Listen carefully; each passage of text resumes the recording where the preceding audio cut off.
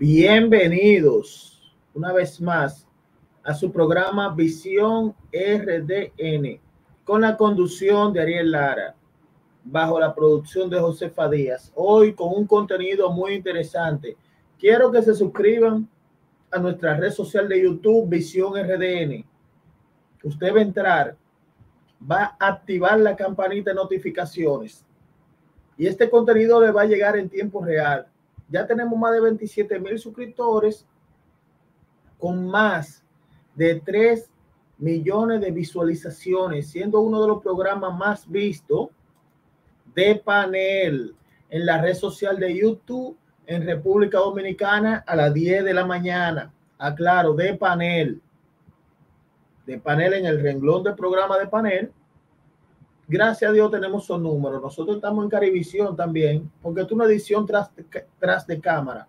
Pero estamos en Carivisión, canal 26 de Claro Alti, 22 de Aster y Telenor, canal 46 para la gente del Cibao, todos los domingos a las 10 de la mañana. Pero es una edición exclusiva para ustedes. Señores, está pasando algo. Y quiero que producción me ponga la foto al lado. Ahí vemos a Julio Mareñe, y el ingeniero Miguel Valga Maldonado, Julio Mariña, quien era uno de los dirigentes más cercanos a Miguel Valga Maldonado, y ese dirigente pide la cabeza de Miguel Valga Maldonado, señores. Ellos piden iniciar un proceso de renovación. ¿Eh? Ellos le piden un, proceso de renovación partidaria para escoger las nuevas autoridades en el próximo 2021.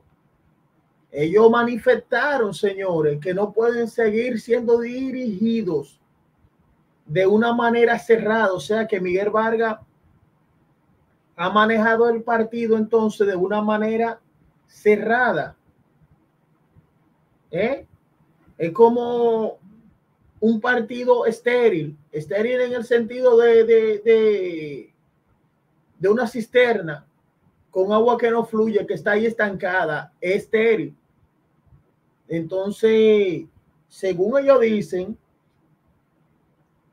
lo ha mantenido de manera cerrada y con la misma actitud de durante más de 10 años.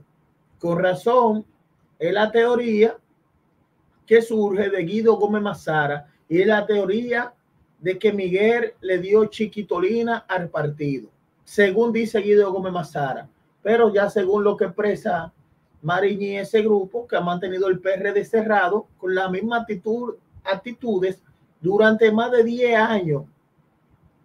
Él enfatizó que el PRD no puede seguir siendo dirigido de manera cerrada, excluyente y sectaria, o sea, también está de manera sectaria, según lo que dicen, con la misma persona y la misma actitudes que lo han llevado a humillante y vergonzosas derrotas durante los últimos procesos electorales desde el 2008 hasta la fecha. Pero, y mira de quién, y mira de quién viene. Ahí me dicen que está, eh, estuvo en esa rueda de prensa Julio Marilla, que fue director de IDECO, y él fue de lo que estuvo. Pero también estuvo Ramón Molina, Víctor Gómez Casanova, que era director de Portuaria, Osvaldo Ramírez, Carlos Morel, Osiris Blanco, eh, Franklin Cruz, Cruz, también el presidente nacional de la juventud, Eduardo Hidalgo, eh, Leo Di Peralta, Betty Bay, eh, también estaba, según me informan, es diputada como eh, Medina y Luz María Tavera y el ex alcalde de Palmar, Andrés Julio Ricardo Guevi y los regidores Jorge Gross y Ángel Luis Rodríguez. Ellos presentaron una carta pública de propuesta de renovación democrática en el PRD que dice sea, de, lo que recuerdo de esa carta, dice que no se puede seguir como la avestruz con la cabeza enterrada abajo del suelo. Debemos de salir a dar la cara a nuestro dirigente, a nuestra militancia, a nuestra sociedad dominicana en sentido general. El PRD no puede seguir siendo eh, dirigido de manera cerrada, excluyente y sectaria, con la misma persona, la misma actitud durante 10 años que lo han llevado a humillante y vergonzosas derrotas.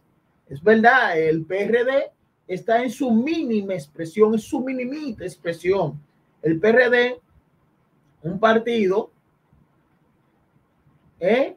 como su nombre lo indica, revolucionario desde su fundación. O sea, eso fue en 1939. La revolución que históricamente lucharon nuestros padres, nuestros abuelos, eso, esos recuerdos que dice la carta, era la revolución de la libertad y de los derechos humanos y de la democracia. En tal sentido, los abajo firmantes en nuestras condiciones de dirigentes del Partido Revolucionario Dominicano, con las posiciones que le corresponde, dicen que emitieron una comunicación a la presidencia del PRD presentando el documento titulado Propuesta de Renovación Democrática del PRD solicitando formalmente unos puntos. Aquí voy, que el punto uno dice, dice claro, según lo que recuerdo, que el presidente del partido es una demostración de madurez política y espíritu y cuerpo de desprendimiento personal, comprendido en la necesidad de renovación que necesita el partido ¿eh? y que reclaman la gran mayoría de la dirigencia y militancia a nivel nacional, así como la sociedad dominicana en ese sentido general, de un paso al lado y que permite el inicio del proceso democrático de renovación partidaria sin esperar el año 2023 y que se inicie antes de lo posible por la salud y el fortalecimiento del PRD. Recuerdo que el segundo punto dice que conforme que conforme establecen lo que establece el estatuto, claro, eh, del partido y en el marco de la ley, creo que la ley 33-18 de los partidos políticos y la 15-19 sobre el régimen electoral, la Comisión de Control y la Secretaría Nacional de Organización del PRD que preparen a la mayor brevedad un informe ejecutivo especial donde se establezca el número real con que cuentan en la actualidad de la matrícula de los miembros organizados en la dirección partidaria. Entiéndase que ahí está la comisión presidencial, comisión ejecutiva, eh, la comisión política, el, el Comité Ejecutivo Nacional, el CEN, así como los comités distritales de distritos municipales eh, en los municipios de circunscripciones, eh, provincias y las sesiones del exterior para determinar con qué número de matrícula vigente de esos organismos realmente cuenta, ya que en pasados procesos electorales han sufrido deserciones, renuncias, salida en gran cantidad de personas de los diferentes organismos de dirección del partido y esa vacante no pueden ser llenadas de manera unilateral, sino por los organismos correspondientes conforme a lo que establecen las leyes citadas anteriormente. Y el punto 3, que conforme a lo que establece el artículo 38 de los estatutos del PRD, que se ha convocado el segundo Congreso, José Francisco Peña Gómez, el cual llora, llora, Peña llora con ese PRD con una chiquitolina está así, señores, chiquitico, chiquitico, para conocer de manera abierta y democrática los puntos en que puedan, que puedan ser incluidos más adelante. La evaluación y análisis de los estatutos generales del Partido Revolucionario Dominicano para ser adecuado a la realidad de la nueva ley 3318 de los partidos políticos y de la 1519 del régimen electoral evaluación y análisis del desempeño político histórico del PRD con, con énfasis en los últimos 12 años, del 2008 al 20, que eso ha sido, en vez de ser una curva ascendente o una línea ascendente, es descendente, va bajando, va bajando, va bajando, chiquitolina, chiquitolina. Y en especial de los resultados electorales del proceso municipal del 15 de marzo pasado, así como el congresual que le pasaron el rolo el 5 de julio y quedó partido minoritario, chiquitolina. La convocatoria a un plebiscito conforme al artículo 49, 39 y 40 de los estatutos para decidir ¿eh? sobre iniciar un proceso de reorganización y reestructuración a nivel nacional en cada distrito municipal, municipio, circunscripción, provincia, así como las sesionales del exterior, al realizarse durante el próximo año 2021. ¿eh? Y eso se está viendo, señores. También el, el, el punto 4, que habla claramente de lo que yo recuerdo, porque yo estoy diciendo lo que yo recuerdo y lo estoy compaginando y lo estoy analizando, que convocar, eh, el punto 4 dice que convocar con mayor brevedad una reunión de la comisión política del partido conforme al artículo 34 de los estatutos para conocer y analizar la propuesta de la renovación democrática del PRD y dar respuesta a la misma. Eso lo firmó atentamente Julio Mariñez, que es vicepresidente nacional y presidente de la Comisión Nacional de Control del PRD. O sea, Mariñez era ahí el que echaba a la gente. Francisco Peña, vicepresidente nacional y es alcalde del municipio de Santo Domingo Este, que fue de los que perdió en la pasada contienda. Ramón Victoria Molina Mon es vicepresidente nacional y su secretario electoral. Está Víctor Gómez Casanova. ¿Quién iba a decir, señores? Víctor, el amigo Víctor Gómez Casanova, que es vicepresidente nacional del PRD. Eduardo Hidalgo, presidente nacional de la juventud del PRD. Giovanni Adame, regidor de lo Alcarrizo y presidente de la juventud del PRD en la provincia de Santo Domingo.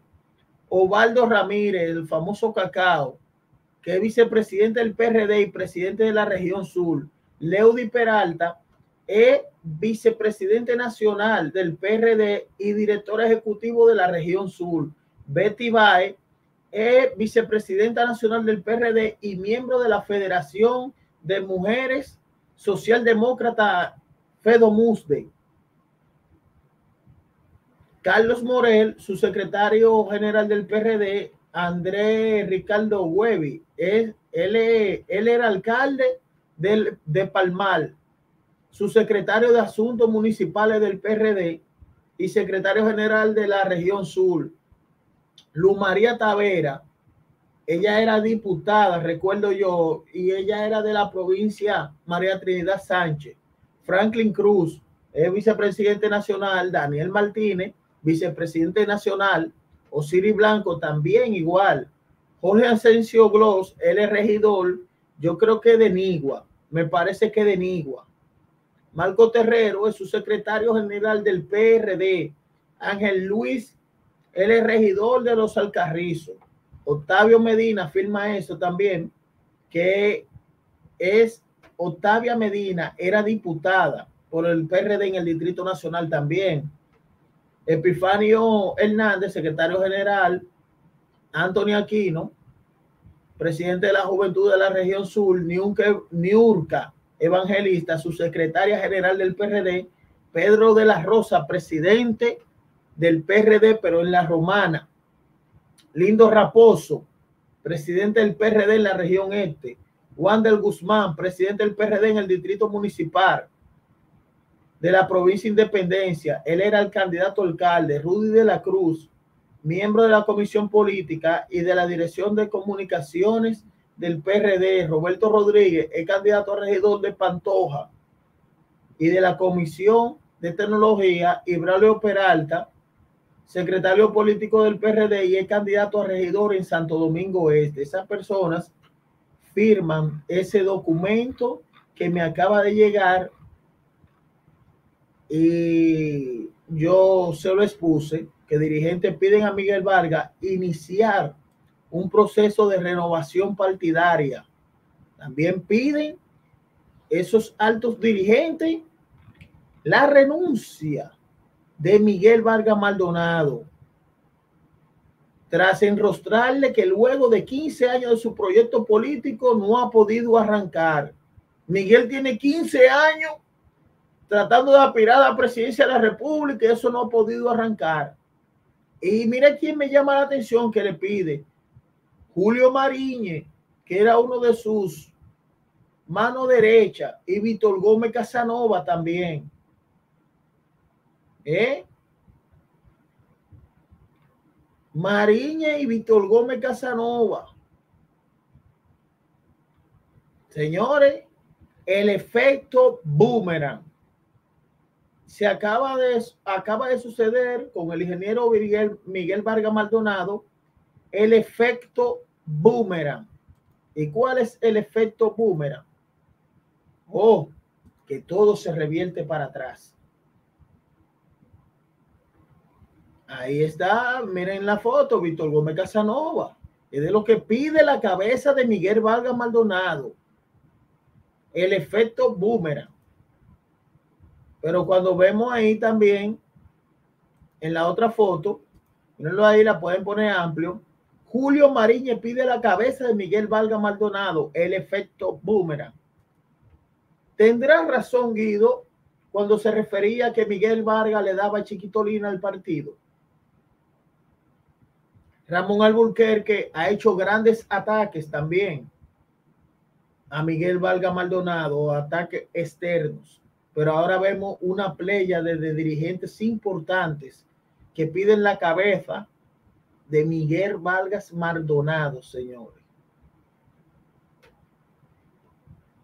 Piden la cabeza de Miguel Vargas Maldonado. Personas cercanas, personas de su entorno, y personas que fueron funcionarios en el pasado gobierno, pero que entienden, ellos entienden que él tiene que renunciar del cargo de la organización porque tiene 15 años su proyecto político y no ha podido, no ha podido arrancar. Señores, yo quiero que ustedes se suscriban a nuestra red social de YouTube, Visión RDN, activen la campanita de notificaciones ya tenemos 27 mil suscriptores con más de 3 millones de visualizaciones. Y como siempre le digo, hasta la próxima.